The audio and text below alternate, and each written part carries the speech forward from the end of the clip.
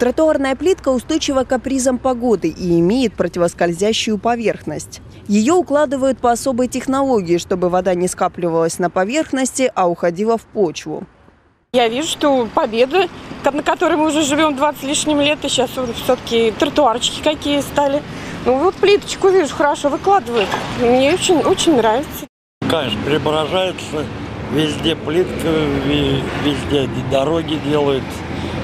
Столько дорог, по-моему, за последний год не делали уже, наверное, лет за 10.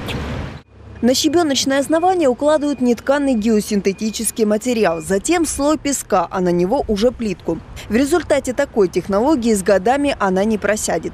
Плитку положат в социально значимых местах с большим пешеходным трафиком, например, между улицами Воронежской и Калинина. Рядом с тротуарами подрядчики обустраивают карман для подъезда общественного транспорта к остановке. Это поможет сохранить пропускную способность автодороги и не создавать пробки. За соблюдением технологий следят кураторы муниципального учреждения «Дорожное хозяйство», обновление и в зоне внимания жителей. Подрядчики, чтобы разгрузить проблемные перекрестки, проезжую часть расширили. На разделительной полосе достраивают островок безопасности. На нем пешеходы, переходящие дорогу, могут безопасно дождаться разрешающего сигнала светофора.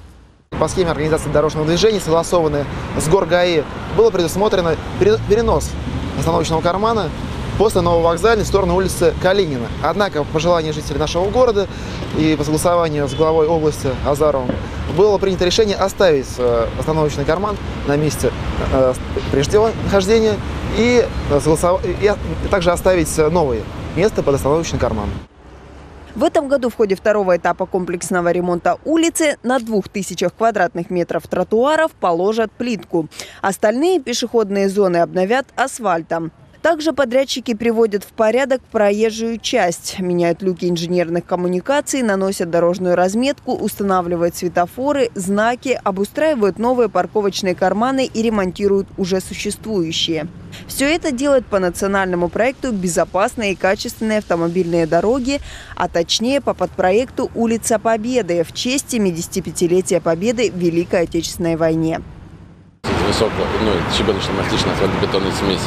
Данная смесь э, может выдерживать большие статические нагрузки в связи с тем, что большая проходимость на данном участке. То есть это считается основной артерией, которая связывает центр города как бы с краем города. Общий процент выполнения составляет порядка 70%.